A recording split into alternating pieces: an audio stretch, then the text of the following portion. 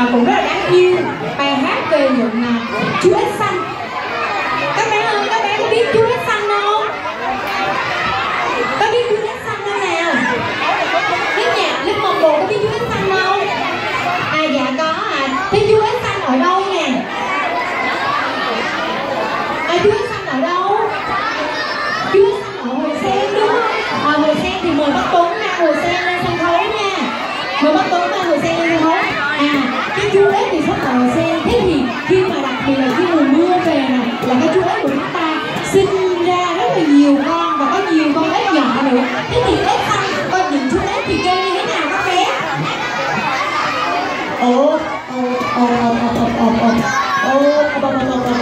bây giờ các bé ở dưới mình thử làm chúa xanh rồi đó mình kêu mình ờ giống chúa xanh không nha? Hai ba.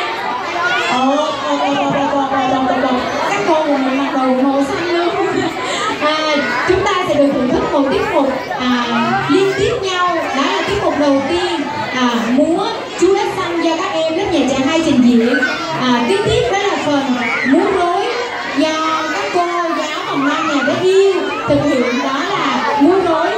chú ếch xanh với lời hát đó là nhạc ý là đầu tiên sau đó chúng ta sẽ diễn nhạc việt.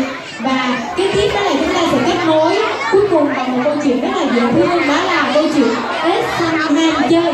Bây giờ các bé đã ngồi thật là đẹp chưa? Ngồi đẹp chưa ngồi đẹp chưa? Các bé trả lời là đẹp rồi đẹp rồi nha. Cô trang hỏi lại nè, các bé ngồi đẹp chưa đẹp chưa? Dạ ngồi đẹp rồi đẹp rồi. Rồi bây giờ à, kính mời quý phụ huynh chúng ta cũng ngồi đẹp ạ ngồi đẹp rồi chúng ta bắt đầu được thưởng thức tiết mục đó là tiết mục múa rối ếch xanh. Rồi bây giờ cô trang sẽ cho hai hai phút hai chúng ta ổn định ở phía dưới để chúng ta sẽ bắt đầu với tiết mục ở phía trên. Như các cô sẽ ổn định các bé và mời quý phụ huynh chúng ta cùng thưởng thức tiết mục chú ếch xanh.